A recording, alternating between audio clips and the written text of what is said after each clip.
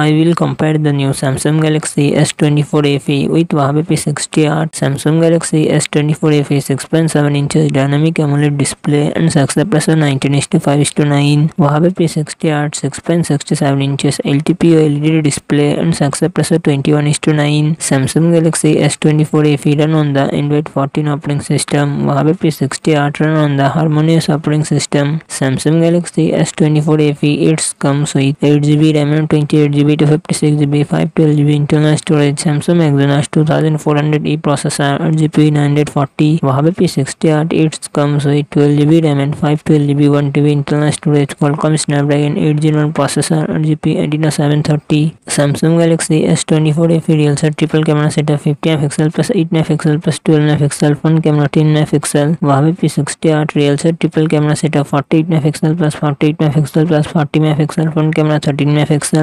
Galaxy S twenty four F four thousand seven hundred M H battery twenty five watt fast charging support वहाँ पे sixty eight five thousand one hundred M H battery eight watt fast charging support